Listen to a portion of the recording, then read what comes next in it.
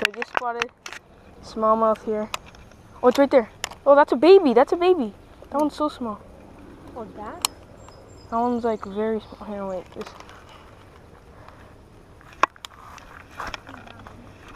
Okay, we're gonna go right over here.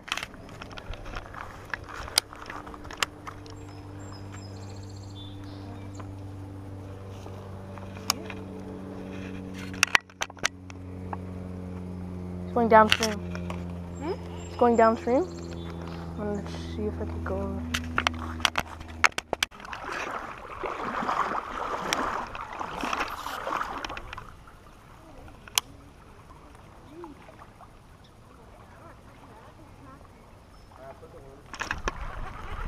Ah, putting on the next bait. Yeah.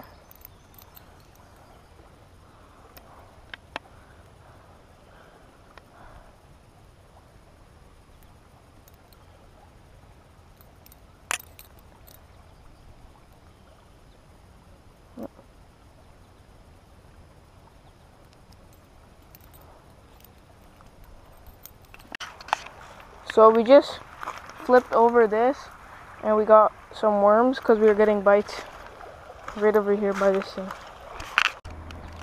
So we still couldn't catch them on the worms, so we're gonna end up going upstream more and see if we could catch any more. So see you there. So we're just going down to this deep pocket right over here and we're gonna go for some chubs. With, we have some bread and worms and we're gonna catch some chubs and use them for bait later in another river for catfish. We'll see you when you get there. So we just found hot spot here. First spot. There's one. Shiner. There we got a little one. What is this? Creek chub. Yeah, here. So Guy's shaking like cut it. Shiner's good bait for Very, very, very small hook. Actually, how much six? And there's the first one. So far, we have four small ones right now. So let's keep going. This hook is swallowed the entire hook.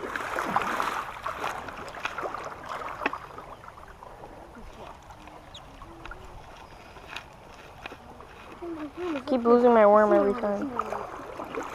Another one. Oh, I think I found a shiner hole.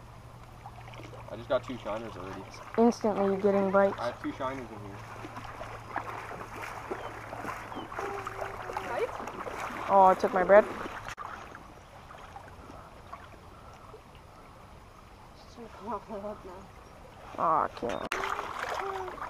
This guy walked right beside me, guys. The steel bonnie hole. eh? I was just saying, kill him. Your bobber. So guys, we just finished up. We have about 15 in the bucket. And now we're gonna go all the way down that way to the next river. And we're gonna catch some catfish. See you there. So we're just scooping in little piles over here. Like this. And catching little baby minnows. And we'll see how much we have right over here full container here. And we let some of the shiners and shads go. And uh, creek chubs that we got. Because we only need a couple because we're cutting them in half. And we'll see you when we get there. Just right here is just the mouth of the river we just fished. And then it leads out to the lake down there. And then another river, which that's where we're going.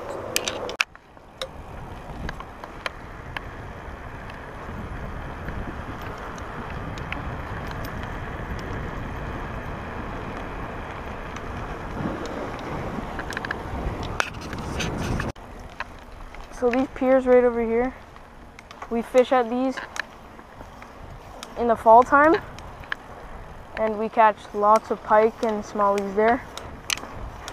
You'll see them right when you come up here.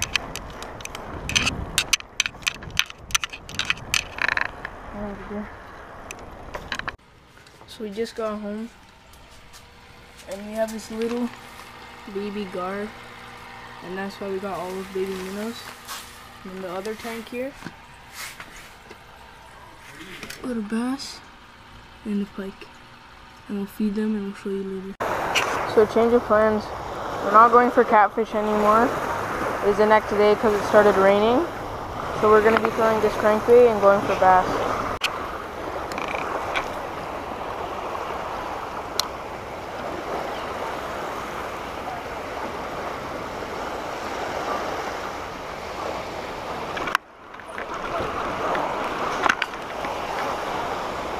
Oh, it popped off.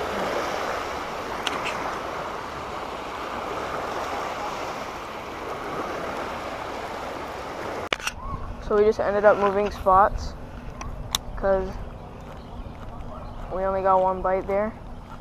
So now I just switched to a popper and I'll tell you how it goes.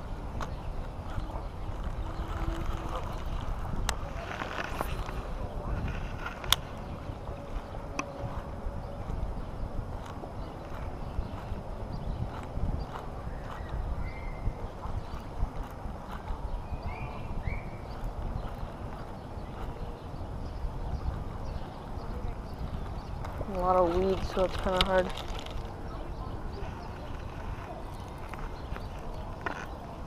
So, this is the bait we're using. It's like mimicking a bass because we have tons of those around here. And basically, yeah, that's it. We're probably gonna fish about 15 more minutes here. And I'll tell you how it goes. So, so we're going to the next spot right here and I'll let you know how it goes.